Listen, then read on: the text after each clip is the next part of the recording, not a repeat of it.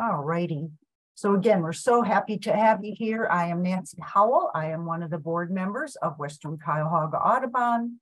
And we'll be making a few announcements. If my computer will move to the next slide. Oh, there we go. Well, there's our welcome. And I will be asking about uh, having some volunteers for some events coming up.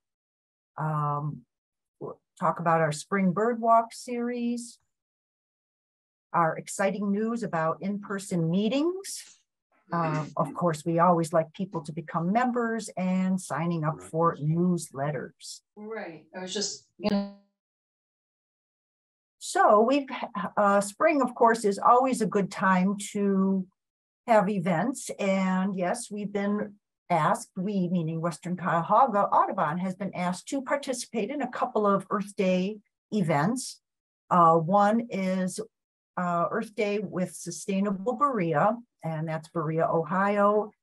Uh, it is going to be held at the Coe Lake Park in Berea, which is near the library. It is Saturday, April 22nd, and it's only from 10 in the morning to 1 in the afternoon or until the event ends, which probably is going to be 1 o'clock. Um, we are going to be having a bird walk starting at 8:30, but our table will be uh, need to be staffed from 10 to 1. So it would be really, really wonderful if we could get two more volunteers for that day. Again, it's only a couple of hours, a little bit of setup time, a little bit of tear down time, but we hope that we can get at least two more volunteers for that event.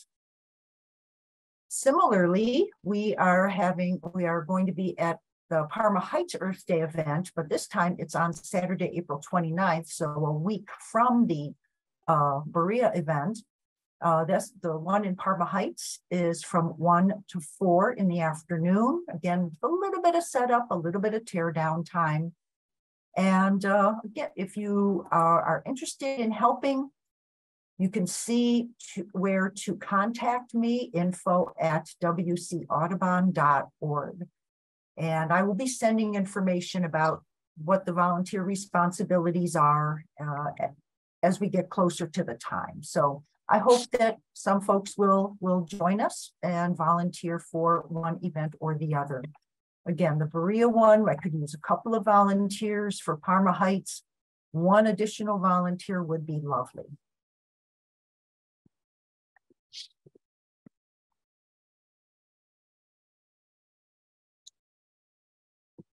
All righty. So I did want to make an announcement, and this is like hot off the presses. We are going to be meeting, we meaning Western Cuyahoga is going to be meeting in person. And this is since COVID when we hadn't been meeting and then we could not get a, a good day to meet at the Rocky River Nature Center. So we will be meeting in person starting in September for our series of meetings and programs. Uh, we will meet at the Fairview Park Library, which is a lovely library. And our meetings will begin just a scooch earlier. We will be meeting at seven o'clock in the evenings. Uh, so we are really looking forward to it. We're excited to return to in-person meetings and we hope, and we're, you know, we're going to be announcing this throughout uh, with our newsletters and each uh, event we have. So we hope that uh, it, people will join us in person at the Fairview Park Library for our 2023-2024 seasons, again, starting in September. We do like to have folks be kept informed, and we have an e-newsletter that comes out oh, once a week. Um, you can sign up for the e-newsletter either on our website, through our website, uh, or if you can jot this down really quickly, but uh, if you get, get to our website, which is www.wcaudubon.org, you will see a place where you can sign up for the e-newsletter. It comes, uh, again, once a week through MailChimp, reminders about events, programs, updates, things like that. So, and if you think, whoa, we were getting too much information here, uh, you can unsubscribe at any time. So we hope that you can sign up for the e-newsletter.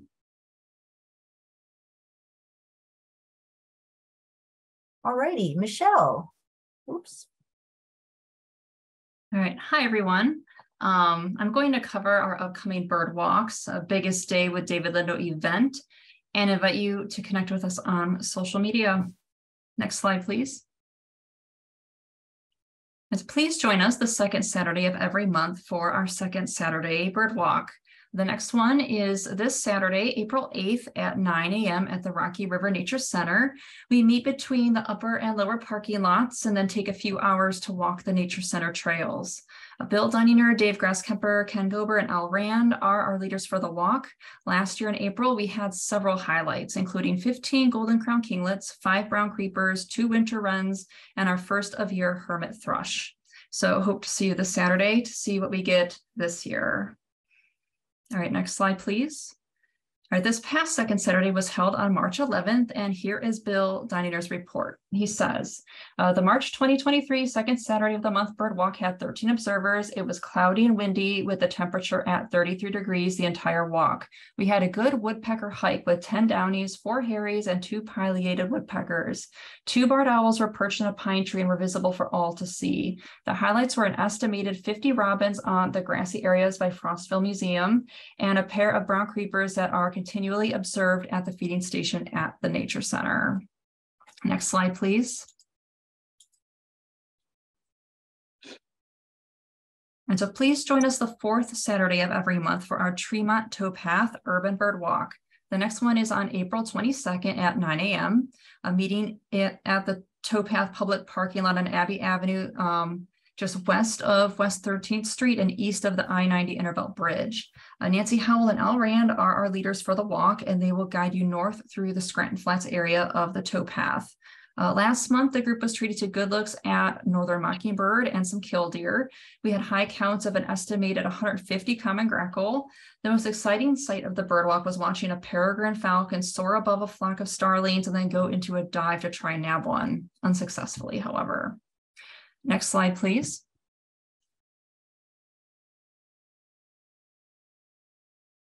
All right, so Frohring Meadows is a 298 acre park that offers trails through prairie, wet sedge meadow, and woodland habitats. I birded this location last April with my uncle and experienced birder, Bob Opper, and was amazed at the variety of species we found. Last year, we had 36 species, including the Savannah sparrow, eastern meadowlark, eastern bluebird, tree swallow, brown thrasher, killdeer, Virginia rail, Wilson snipe, and sora. Please join us on April 22nd at 8 a.m. for this joint bird walk with Western Cuyahoga Audubon and Kirtland Bird Club. So yes, we have two walks going on the same day. So plenty for you to do. All right, next slide, please. All right, David Lindo is coming back, so please mark your calendar for May 6th. The day will consist of a morning joint bird walk with Western Reserve Land Conservancy at Brighton Park, which is full. Uh, we will have an opportunity to do lunch with David at Market Garden Brewery that is limited registration only, an afternoon bird walk at Cleveland Lakefront Nature Preserve that is open to all, and then a group dinner with David at Sibling Revelry Brewing that is limited registration only. And both members and guests uh, can register for these lunches and, and dinners. So please, um, if you're interested, uh, go ahead and register. Um, I will put a link to the registrations in the chat when I am done with my announcements. Uh, next slide, please. Uh, lastly, please stay connected with us in between our virtual and in-person activities by following us on Facebook, Twitter, Instagram, and YouTube. Uh, many of our virtual programs are recorded like this speaker series meeting and can be found on our WC Audubon YouTube channel, so be sure to subscribe. And I believe that's it for me. Thank you, so everyone. much. Yeah, thanks so much, Michelle. Um, and I, a lot of the photos that you're seeing that Michelle has taken, uh, some of them are from the Scranton Roads, uh, Scranton Road, uh, Tremont uh, Flats area. And uh, then, of course, Michelle loves, I, I love the uh, Sandhill Crane photo early on too. That was lovely. That was not at Scranton Flats. Thank you. No, that was in Florida. oh, yeah. Wonderful. Ah, Drina Nemes, who is our uh, book discussion coordinator, is here this evening and will chat with us a little bit about the book discussion series. Drina.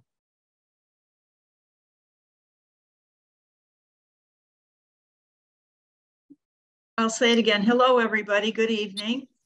Uh, I really enjoyed the Common Grackle photo, Michelle. Thanks a lot for that. Beautiful. Um, well, we're in our third season of our book discussion group, and our themes this year have been varied climate change, adaptation, especially to climate change. And then we took a little bit of uh, time to look at a kind of a not so popular bird these days, the pigeon, but it, we had a lot of fun with that. And um, our next topic is going to be uh, migration. Next slide, please. So we're going to be talking about this marvelous book, A World on the Wing, The Global Odyssey of Migratory Birds by Scott Weidensaul. This book is just filled with wonderful stories not only of migration, but the history of migration, birds, all kinds of birds, people who do the birding and do the migration studies. It's about culture, it's about countries, it's about islands in the South Pacific and the Atlantic that I've never heard of. It's just marvelously interesting. You can find it at uh, the Cuyahoga uh, Public Library System as well as Cleveland and other community libraries. Next slide, please. I'd also like to remind people about David Lindo's wonderful website. He has a series of live webinars. It's called In Conservation With, and he has interviews with a lot of birders and um, people who do things in natural history, um, nature things. There's just, looks like just one session in April. Usually there are several, but I think David must be out and about birding. And we know that he's going to be in May. And then he also has um, the all of his previous uh, Zoom meetings, webinars are available in his archive, including one that's listed here, which includes his interview with Scott Weidensaul from April of 19, 2021 when Scott's book came, just came out. Um, next slide, please. The Environment of the Americas has such a good book club too. They meet uh, usually the fourth Thursday of the month. And it's such an interesting series. They feature uh, authors too. So you can join in and ask questions. They have a wide selection of topics with their books too.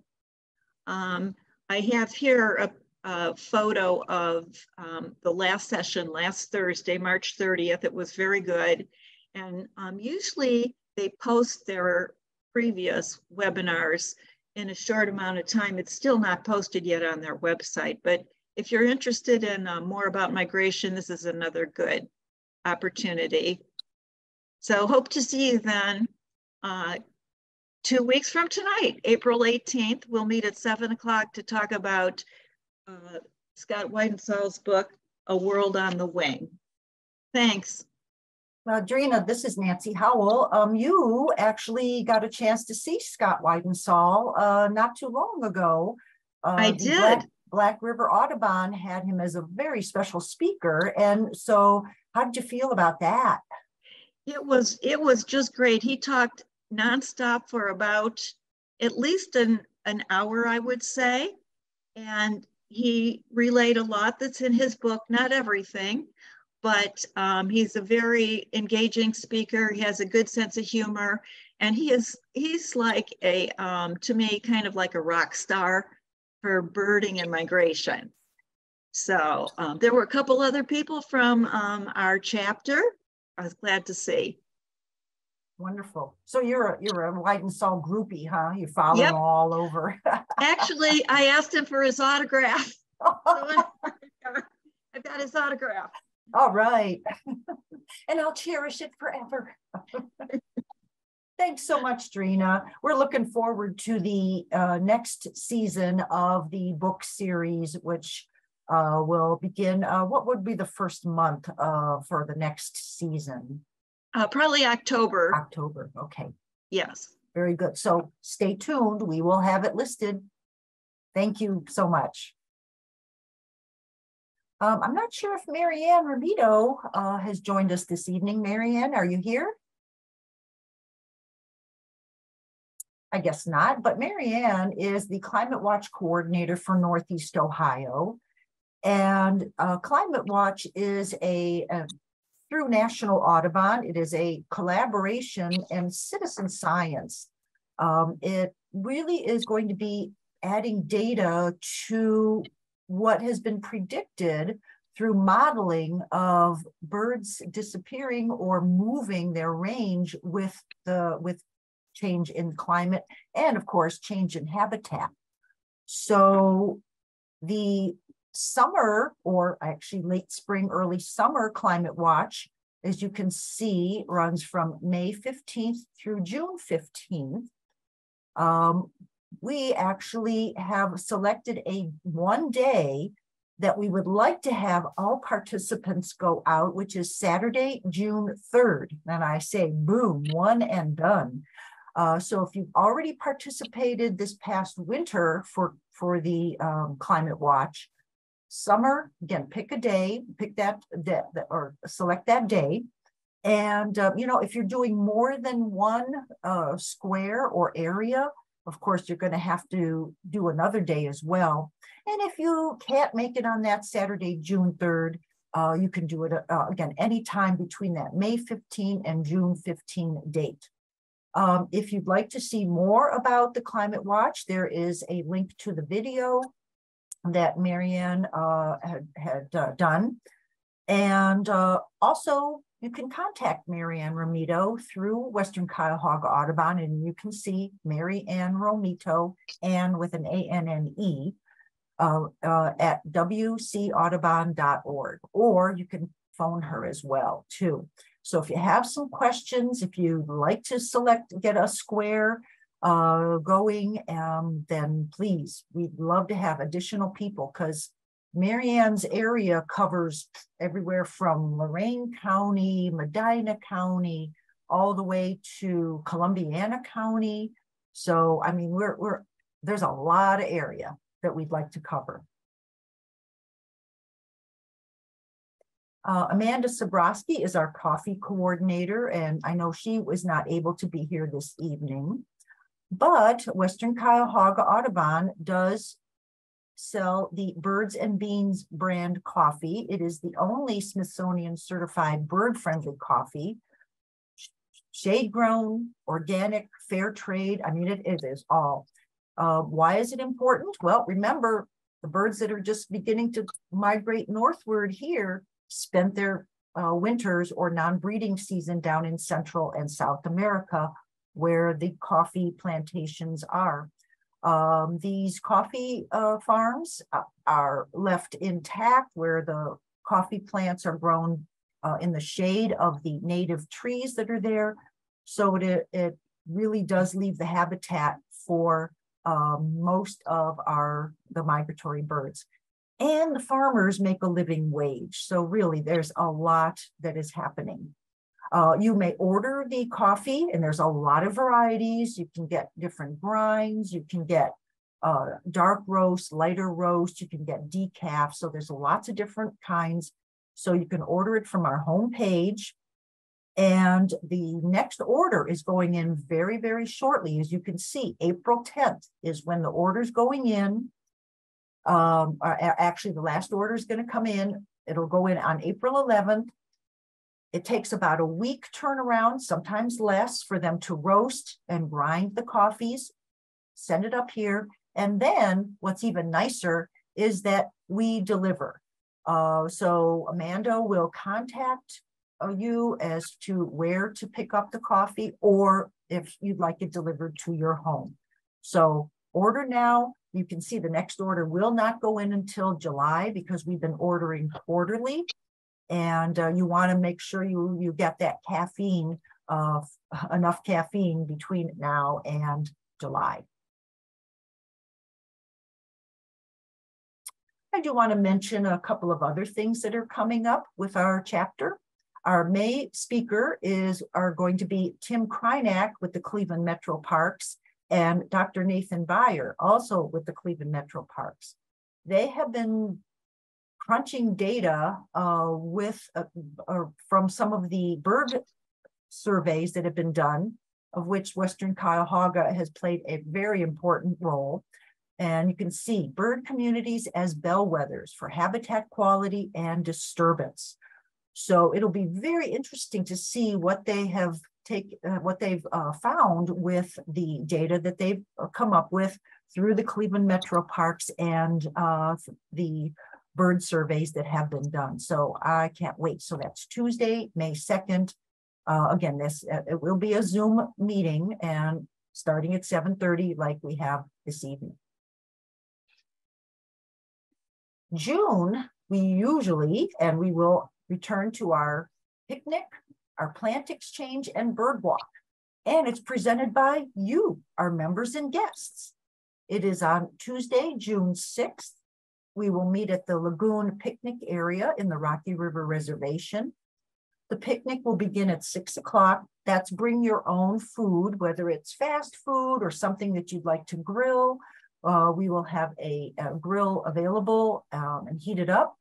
Um, plants, bring uh, house plants, bring bulbs, bring native plants from your yard, bring small trees and shrubs.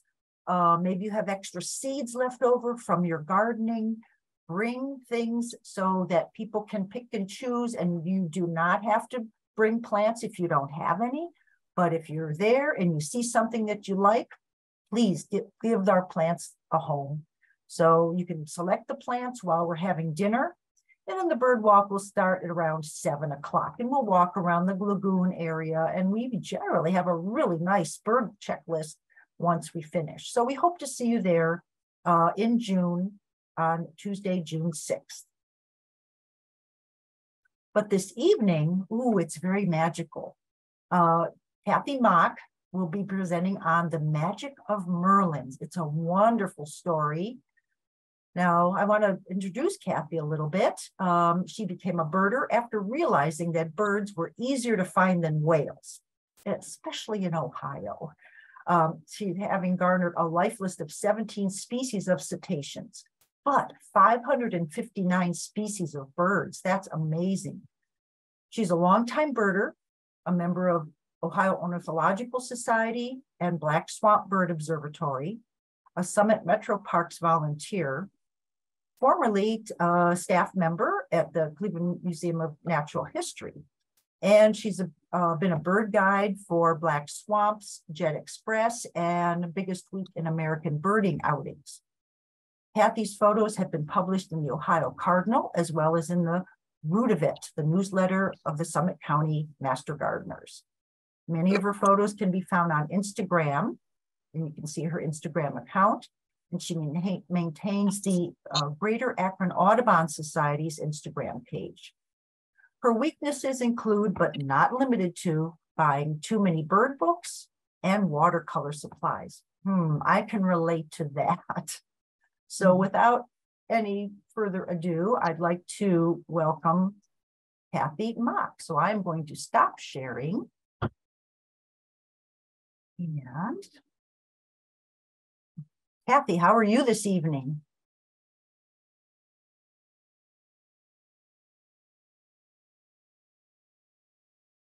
Don't forget to unmute.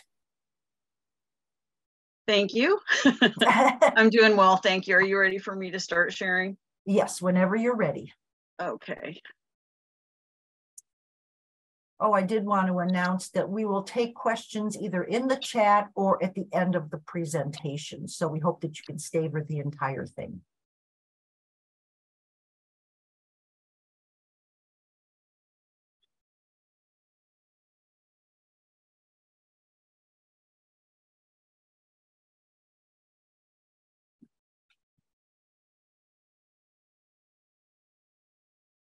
Are you it's coming. Able to see. Okay, great. It's coming.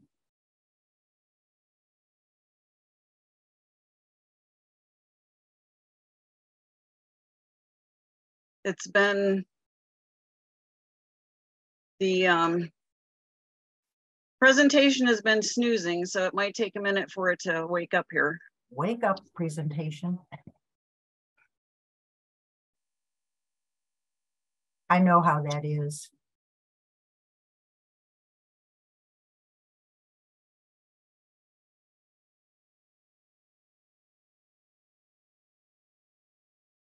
And instead of starting at the beginning, it randomly decided to start where it wanted to start.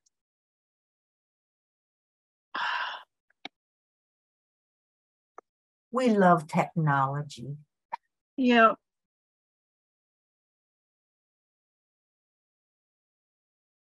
And you try to prepare and you think you're prepared, and then it throws a wrench in.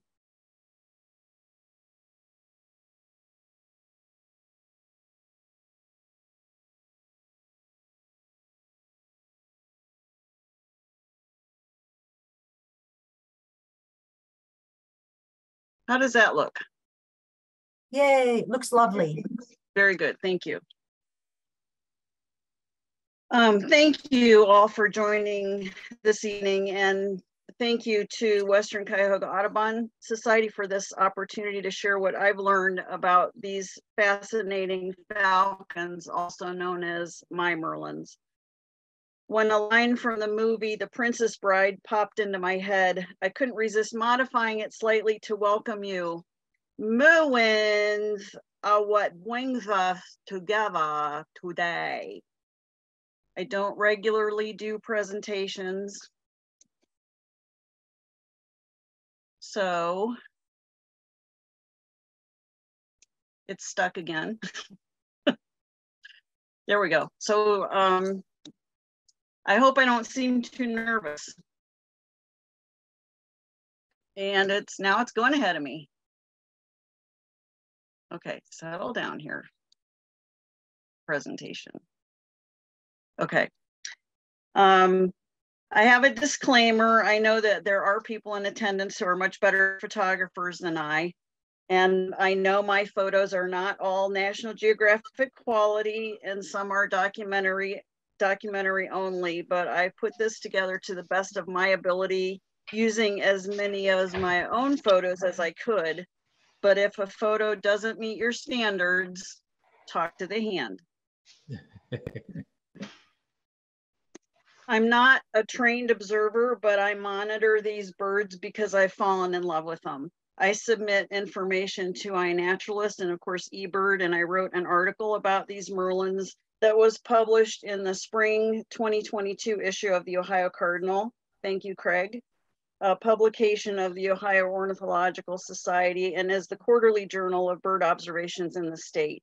My great hope is that my observations will add to the scientific knowledge of these falcons in this area.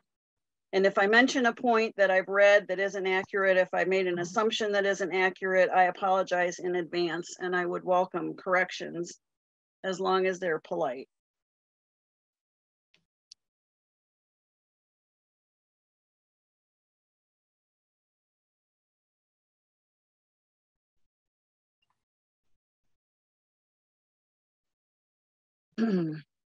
it is not wanting to advance. And it'll probably end up going too far. Um, the Latin name is Falco columbarius. Falcon is from a Latin word for sickle, which refers to the claws or talons, which you can see um, noted by the arrow at the bottom. The common name Merlin doesn't have anything to do with the wizard of the same name, but they still seem to me to appear and disappear like magic um, compared to a red-tailed hawk or something, which is more like, yo, we're going to the zoo, uh-huh, uh-huh. The collo colloquial name pigeon hawk is because of it looking like a pigeon in flight, although they can hunt pigeons, versus the peregrine falcon's name of duck hawk, which is because of them hunting ducks and they hunt pigeons too. Our North American birds are separate from Eurasian species and split from other living falcons around 5 million years ago, but Merlin lineage as a whole may have originated in North America.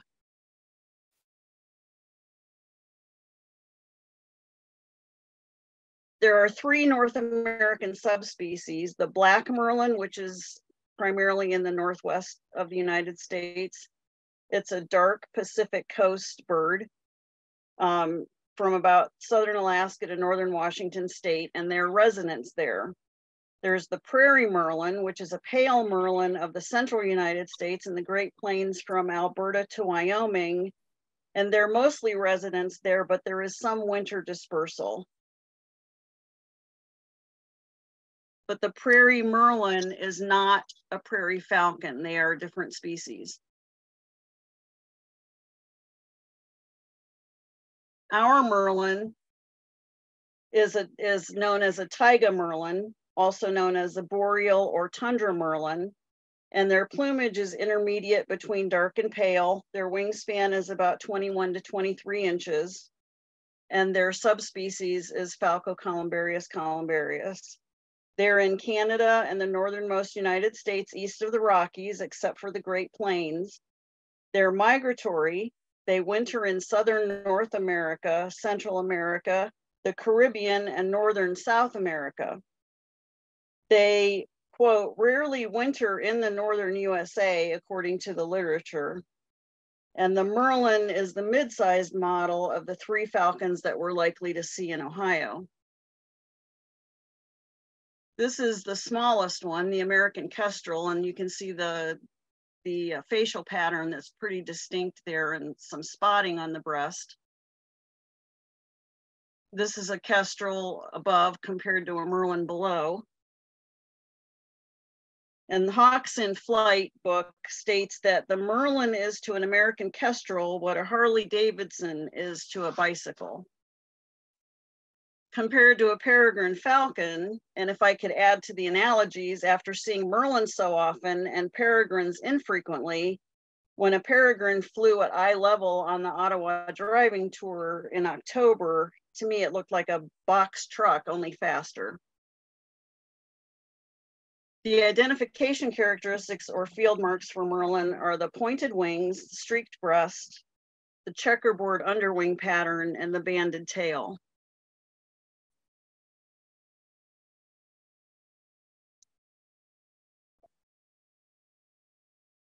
As with other raptors, the male is smaller than the female. And they think that this helps them hunt to different prey species and decreases the necessary territory size to feed the pair.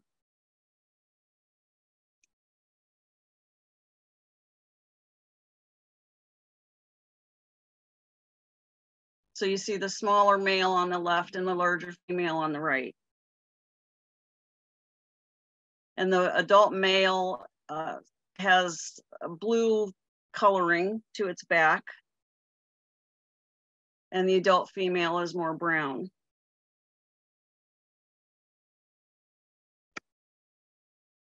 And then we also have the Cooper's hawk, which at a quick glance, if one flies through the cemetery, it, it could be easily confused. They're fast, very fast as well.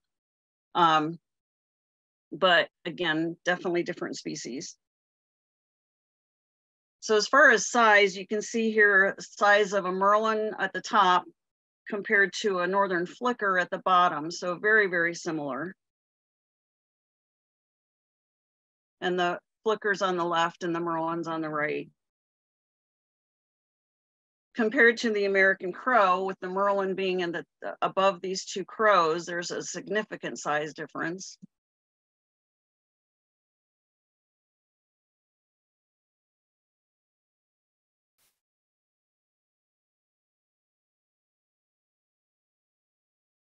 this perspective is a little bit strange in this photo, but nonetheless, you can see the difference in, in size between the two. And then the blue jay, again, is pretty similar in size to the Merlin. The habitat that Merlins like can vary, but they generally prefer a mix of low and medium height vegetation with some trees avoiding both dense forests and treeless regions, except during migration when they can be found in virtually any habitat.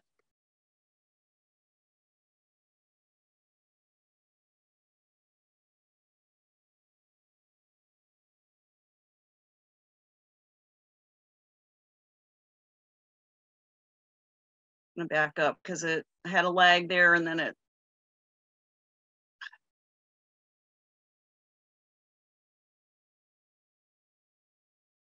I apologize.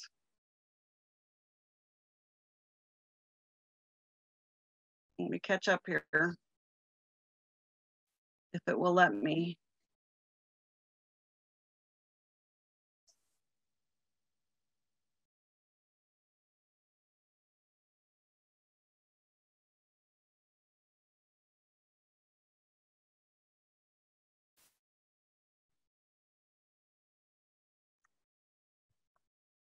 You didn't think television rerun re- rerun season would start so soon.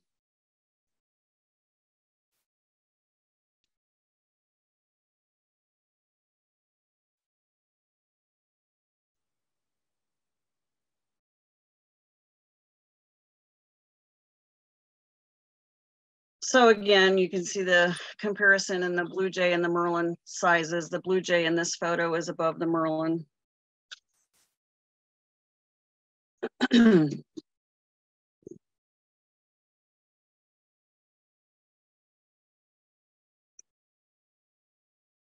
There, um, this map shows where they're supposed to be. Um, so in summer, they're in the peach colored area, mostly in Canada. A few might be in North or Central Pennsylvania and New York. Um, and some have become so well adapted to urban settings that they do not migrate. Migration to their breeding range may start in late February, and most have arrived there by late May. And they're typically on record as southbound migrants as late as September or October.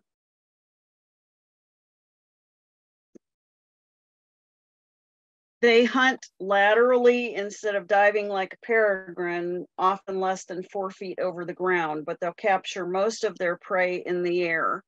So where a peregrine climbs to a height and then dives steeply and quickly, the merlin will dive off of something and then drop real low and then fly straight across to catch up with whatever it's hunting, which is typically birds. They do like high vantage points, which is why you often see them in a treetop in a cemetery or here in the cemetery in this photo at the top of a power stanchion. And this is the lesser known antenna merlin, which of course doesn't exist, but it's just showing again that they do like the high vantage points and they'll take advantage of what they can find. Um, one was even observed standing on a grazing sheep to have a view off the ground. Breeding pairs may hunt cooperatively with one bird flushing prey towards its mate, and they've been observed trying to catch cars and trains. One in 20 hunting attempts is successful even when conditions are poor, but when conditions are good, every other attempt is successful. They sometimes cache food to eat later. Pete Dunne had said he's never seen one fail to catch its target, even if it took more than one attempt.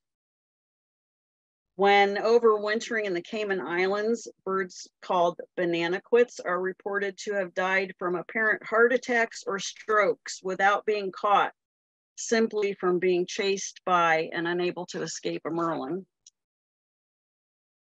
On the other hand, adult merlins may be taken by peregrine falcons and great horned owls, but they usually, uh, um, raptors usually avoid hunting merlins due to their aggressive behavior and their agility. And one of their characteristics is their willingness to chase larger raptors from their territory. Um, merlins have a tomial tooth on the bill, and when they catch their prey, they will um, this tooth helps them to break the neck of the bird that they've caught. They will eat um, bats, dragonflies, grasshoppers, rabbits, voles, lizards, snakes, birds ranging in size from warblers to quail, and including shorebirds and birds even as large as rock pigeons. They may, a bird may eat up to 900 birds a year, and they require about a half to one and a half ounces of food per day, the heavier being about the equivalent of at least one house sparrow. Um, last summer, I saw one finish a bird and then catch a second one, and prey is plucked and decapitated before being eaten or being brought to the nest. Um, it seems from what I can see of their prey that it's for the most part, they seem to focus on house sparrows. And I don't have any complaints about that.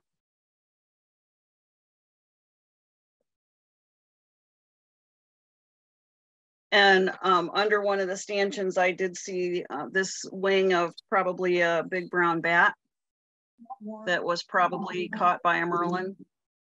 And under a tree, um, this former chimney swift, and I can't say for sure that it was caught by a merlin, but I'm not sure what else would have been fast enough to catch a chimney swift.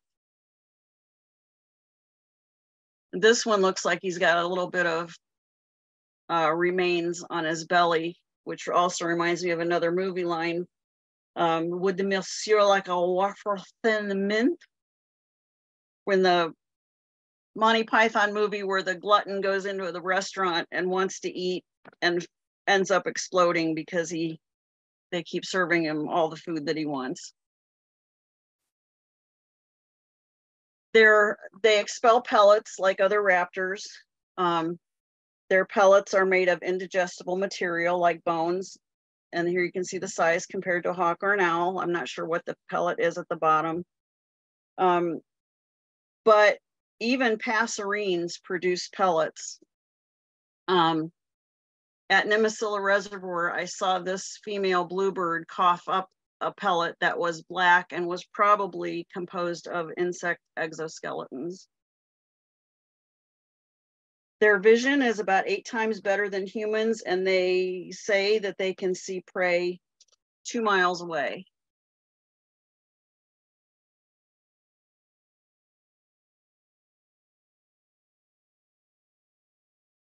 And I'm gonna give it a minute here to go to the next slide, if you don't mind, rather than having to go start at the beginning again.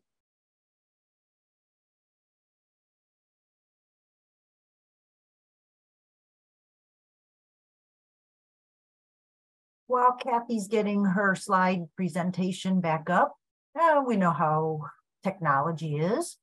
Um, it's interesting, you know, you can put messages, questions in the chat. Don't forget to do that. Um, I thought it was pretty interesting when Kathy mentioned that Merlins aren't supposed to be here in the winter time, and yet we kind of expect them on our Christmas bird count. Um, so hmm, they don't read the books, I guess.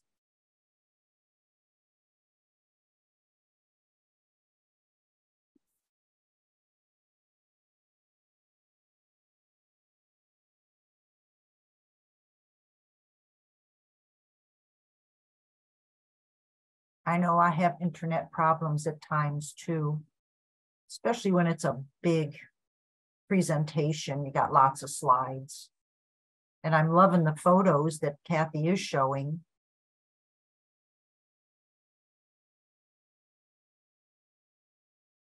Looking at the size of the Merlin compared with jays, crows, kestrels.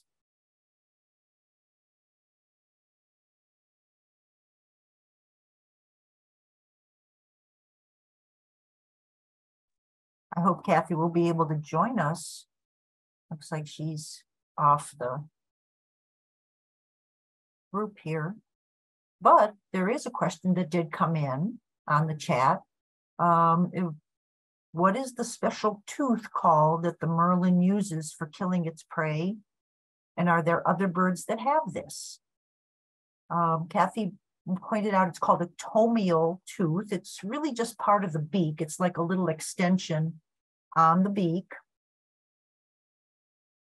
And as far as I know, only falcons have a that tomial tooth.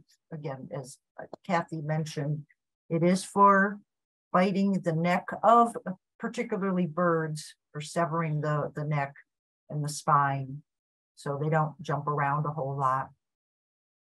Makes it a quick death.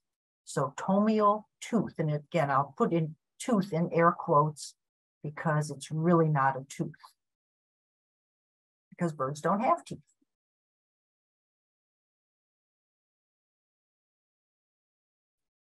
I see there's another question in the chat.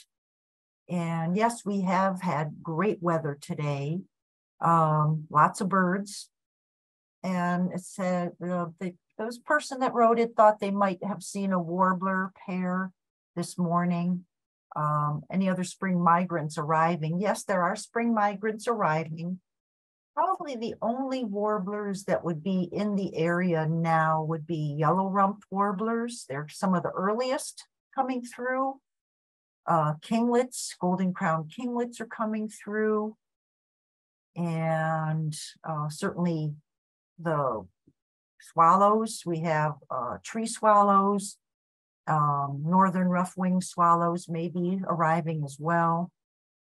Oh, good, somebody else mentioned the yellow rump warbler. Um, fox sparrows, sparrows should be arriving shortly. Fox sparrows, chipping sparrows, swamp sparrows, field sparrows. Those are some that that I know I've run into the past few days. So, yep, things are starting to move. Oh, good. Kathy's with us now. And I will be quiet.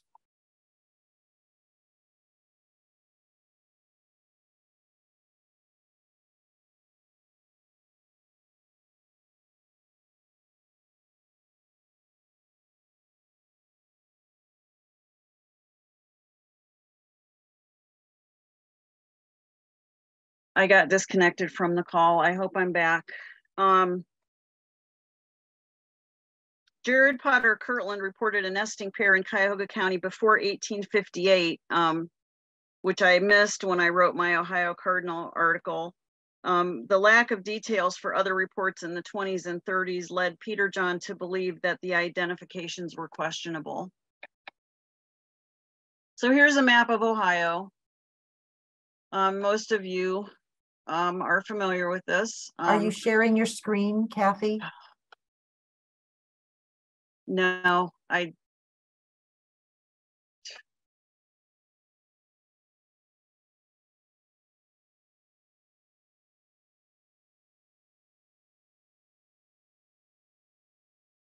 I,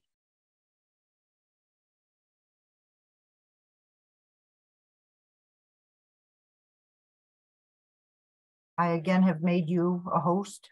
okay.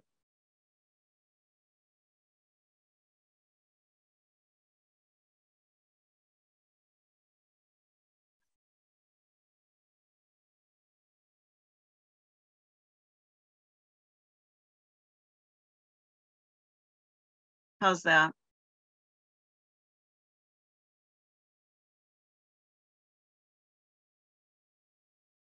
Am I sharing? Yes, you're sharing. Okay, thank you. Yep. Um, again, most of you know what the map looks like, but our guest from Toronto, this might be helpful. Um, so here we are uh, down around here. Um, when that book was published, there had been no summering Merlins reported since 1934. Um, I've been able to add reports to eBird with photos to help fill in gaps in the bar chart for Summit County to the point that now there are um, only four weeks missing through the year, the last two weeks of May, the last week of June, and the first week of July. So if you're still awake, great. If not, it's okay, even this guy's sleeping. Um, if you are still awake, um, I'd like to tell you now about the Summit County Merlins and how they've contradicted many of the things that they were not supposed to do. I don't in any way mean to imply that the location I'm focusing on is the only place in Summit County where they've been seen. Um, they've been seen in Bath Nature Preserve, Sand Run Metro Park, Rose Hill Burial Park, on and on. Um, but this is Summit County within Ohio. Here is Akron. Here's Cleveland up here. Um, this bird was at Nimisila Reservoir. Um, and then here zooming in more in Summit County um, with Green Lawn Cemetery in the lower mid left. Um, so I'm reporting on my own experiences based on six years of observing Merlins at this cemetery, three miles from my house. Um, most people visiting the cemetery probably think it's pretty dead there. Or is it? A Merlin found me first, and I've been wrapped around their sickle-shaped talons ever since. On February 18th of 2017, one buzzed my bird feeders in Barberton during the Great Backyard Bird Count, and I photographed it perched on the next block, and it seemed like this cemetery, Green Lawn Memorial Park, three miles from my house by car or two, two miles in a straight line, would be a logical location for it to hang out. So I went there and lo and behold, now I don't know how that picture got in there because that is not my picture. But I did find a Merlin there on February 21st of 2017. So I've gone from one bird then to eight birds um, during the winter of 2021, 2022. These are multiple photos of some of the same individuals. Um, and a winter day with sun in Ohio is so rare that I have to take as many photos as I can. But through consecutive winters, the number of Merlins has grown to eight, a number I observed on three different dates during the winter of 2021 22, and also on December 10th of last year. And I meticulously double check to ensure that I'm not counting individuals more than once. I found one location in the cemetery where um, amid leafless winter trees, I can see six preferred perches at one time. And I sometimes end up logging over four miles of driving around the 68 and a half acre cemetery during a single eBird checklist, looking to make sure of the location of the birds.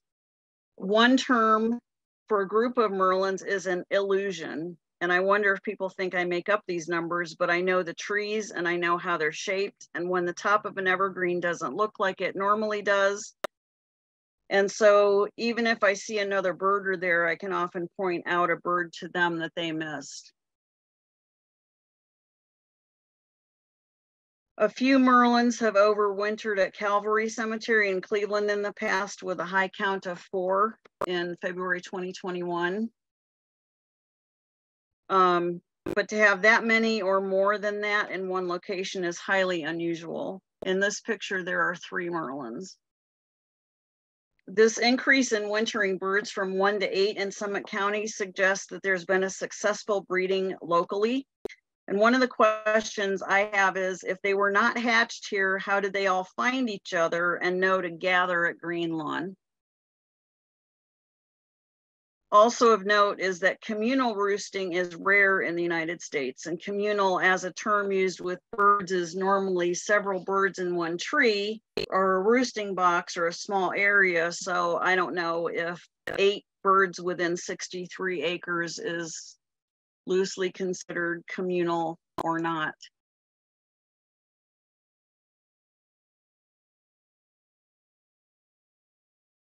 In 2021, my latest spring sighting was April 7th, and my next sighting was July 15th.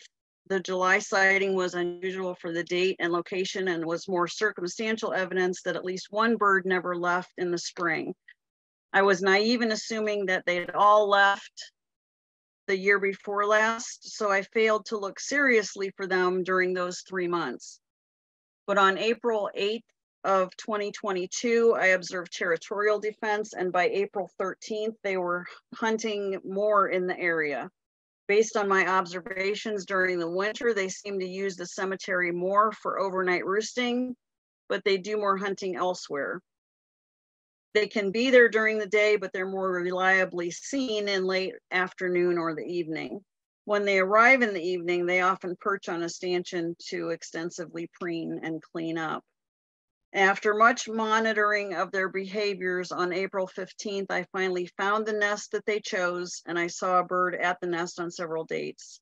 I observed copulation on six dates from April 12th through the 25th, and I photo documented copulation as well as the female at the nest and in the nest. And they were very active, defending the territory, vocalizing, and so on. And I recorded their vocalizations.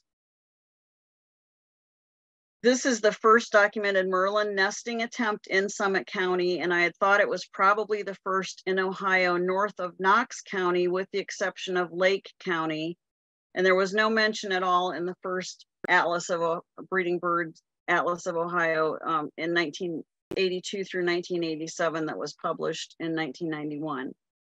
I saw a reference to an old nest in Seneca County, which I couldn't relocate. And even with Kirtland's old report from Cuyahoga County, Peterjohn asserted that there were, quote, no indisputable breeding records from Ohio, end quote, as of 1986. Even the second atlas of breeding birds in Ohio, published in 2016, showed only two confirmed nests in Knox and Lake County, with four others considered possible. And it was only after that book was published that Merlins were documented nesting in a different green lawn, Green Lawn Cemetery in Columbus in Franklin County in 2019. Strangely enough, on October 17th and 20th, of 2021, I photographed a clearly bonded pair of Merlins in an old crow nest, checking it out. And Doug Vogus suggested that because the day length mimicked spring, perhaps that triggered the interest in the nest. I'm aware that of that scenario with frogs vocalizing in the fall, but I hadn't thought about birds exhibiting breeding behavior for that reason. They were also demonstrating agitation and what seemed like territorial defense against blue jays and American crows. Doug had asked me a couple years ago if I'd consider that they had nested here. And in fact, I hadn't because they weren't supposed to.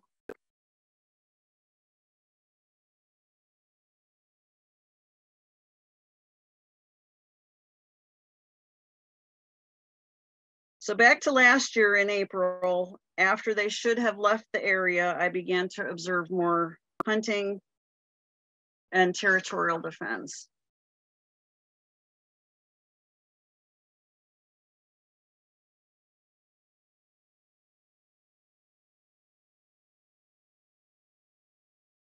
For those of you who have been able to keep your eyes open so far, you may want to close them now anyway as we enter the adult portion of the program.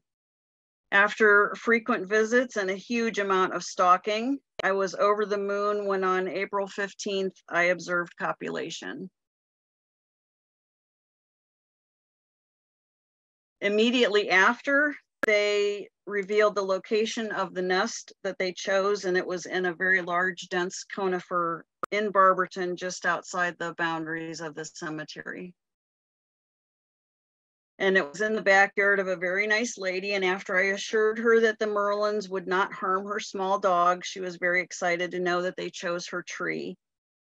When I'd asked Amy Phillips to meet me to see if she could get some better telephoto pictures with her camera than I could get with mine, we started in front of Pat's house.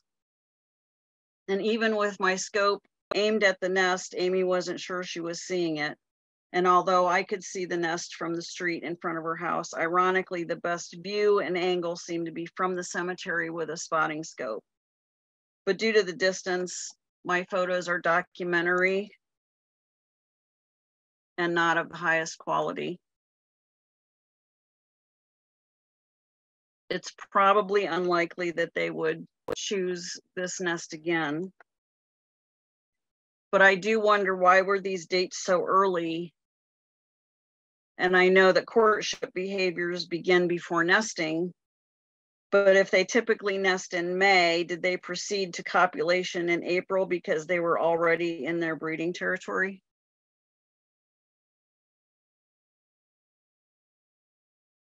So this just shows an increase in the hunting that they were doing.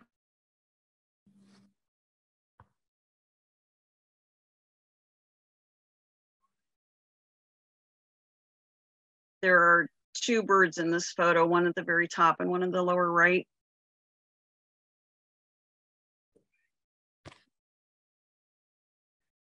They continued the behaviors and as of April 27th, everything was a go.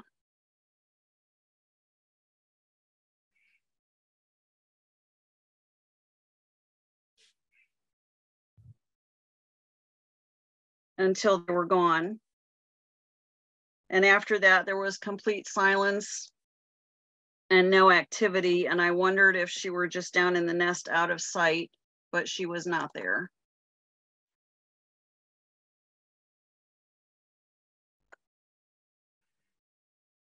A breeding pair will often allow a yearling male to remain in the territory, and there were three Merlins present through that date, with the third interacting a little bit with them, but usually coming in late in the day to perch apart from them.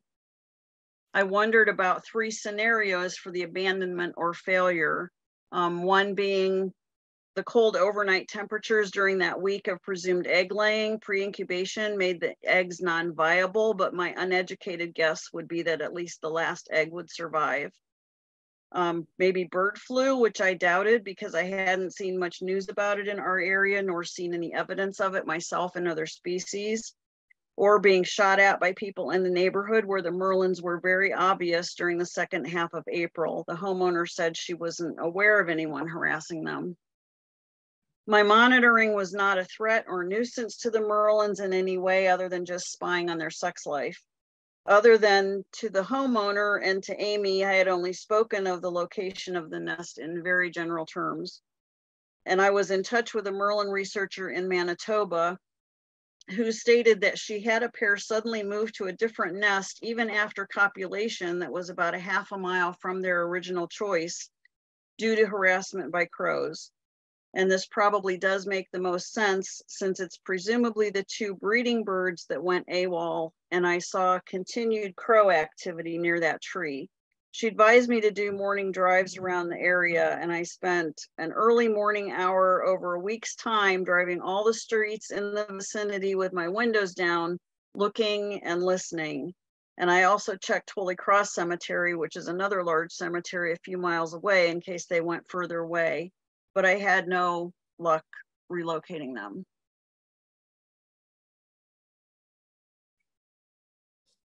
In the meantime, the lone bird continued to come in to roost in the evenings, even as late as 9.15 p.m. And with sunset around 8.45, there was still enough light to see its silhouette. But on June 16th, it came in earlier than usual, and the photos I was finally able to get in good light confirmed that it was, in fact, a yearling male, or SY Hatch 2021 per Tom Bartlett, with its scapular showing hints of bluish color. So that was pretty exciting for me, but the question remains as to whether it was hatched here the previous year. Ironically, the deadline for submitting my article to the Ohio Cardinal was June 21st, and I submitted it on June 20th. And as it turned out, that was also the last date I saw that bird until August 10th. In my mind, I was sure that my frequent monitoring, this is not my photo, during the summer would present me with a day when I would see a nice little Merlin family made up of the pair and their fledglings all coming into roost, but that didn't happen. Um, I, I did observe two Merlins on August 16th, when in 2021 I didn't see two until October 17th. Um, I thought I had three in early September, but couldn't confirm three until about three weeks later in September. Um, I confirmed four on October 2nd and so on. I had seven on November 20th, when during the previous winter of 2021 22, I didn't get to seven until January.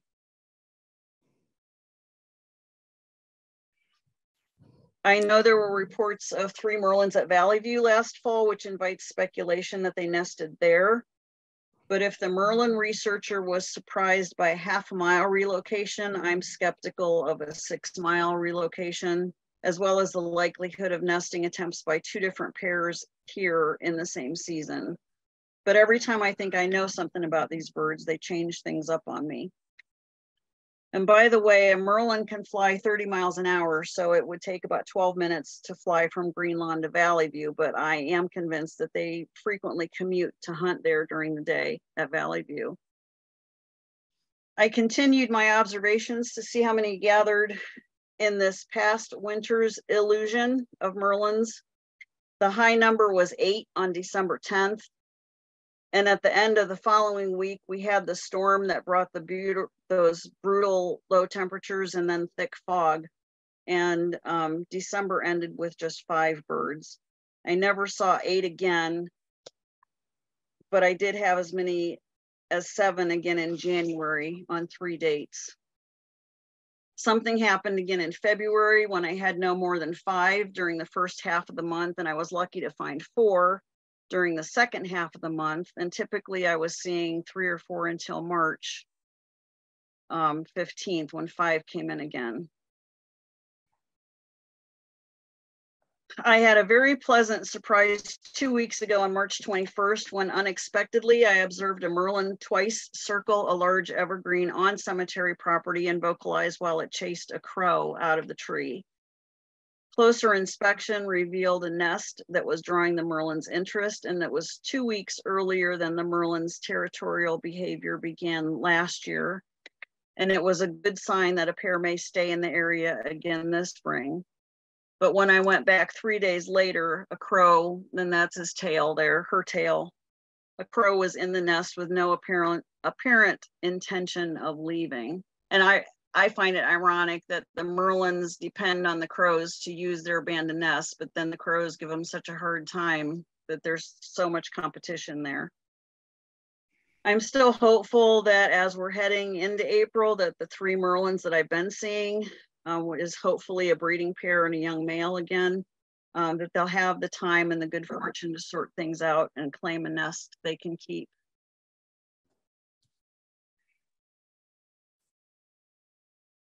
So this spring, my ultimate hope is to find the nest that produces fledglings. And through the next few months, I hope to fill in the missing four weeks of the bar chart for Summit County. And when there are other things I should be doing, I find myself returning over and over to check on them. And sometimes I think, I wish I knew how to quit you. Matt Valencic gave a program and said his wife asks him why he keeps going back to the same place over and over for the same birds. And he told her he has to keep trying for better photos, and I completely get that.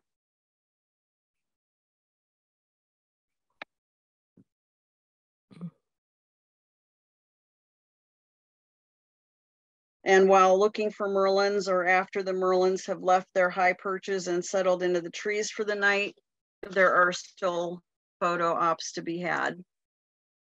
And sometimes if you just look up, the Merlin's magic can be found. This is actually the moon under the rainbow. And the peacefulness of the cemetery and the quiet observation helps me keep my head on straight. So I'd like to thank again all of you. Um, I'm so sorry for the technical troubles. Thank you for your patience and thank you for all I've mentioned for their support and input, as well as to Green Lawn Cemetery Association Superintendent Donald Paw and staff. And um, thank you for your time and interest in these birds that I love so much.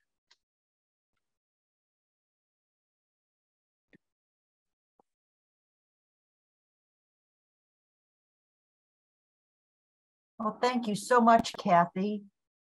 Look at that lovely photo. I just love, I just love the photos that you've produced. This is beautiful. Um, if you you. want to, uh, take your slides off and we can see folks and uh, I'm gonna check the chat area. See if there's any questions there. We talked a few, about a few questions while you were working to restore your slides. Um, one question had to do with the tomial tooth, which I answered. I hope you don't mind. Fine, thank you. Um, now you talked about, I'm gonna ask a question and I put it in the chat.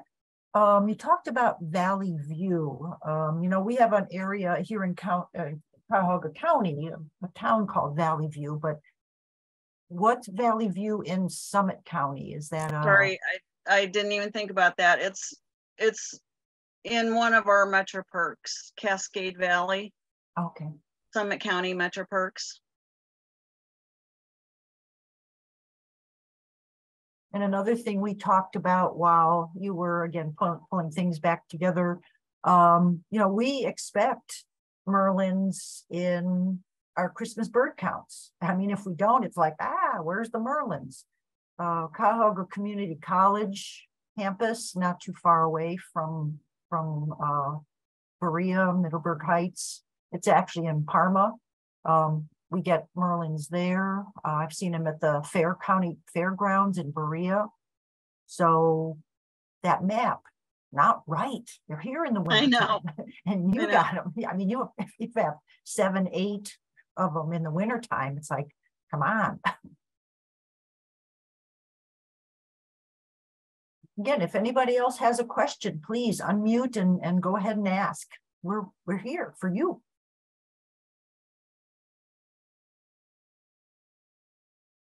Some nice comments, enjoy, enjoyed your passion and, and photos were great. Oh, Mentor Marsh has a Merlin apparently. That's nice.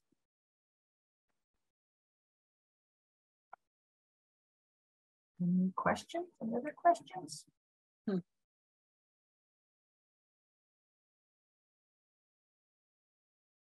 All righty, well, again, we thank you so much, Kathy. Yep. Eh, don't worry about the technology stuff. It, things happen and, and we understand. I think all of us have had stuff like that happen. eh, But it, it was very good. Thank you so much. Um, and, um, I hope to see other folks, uh, at some of our other presentations for May and then maybe the picnic in June. Um, remember to sign up for a, to help with volunteering at one of the Earth Day events. And, uh, I wish everyone have a good evening. Thank you again. Thanks so much, Kathy.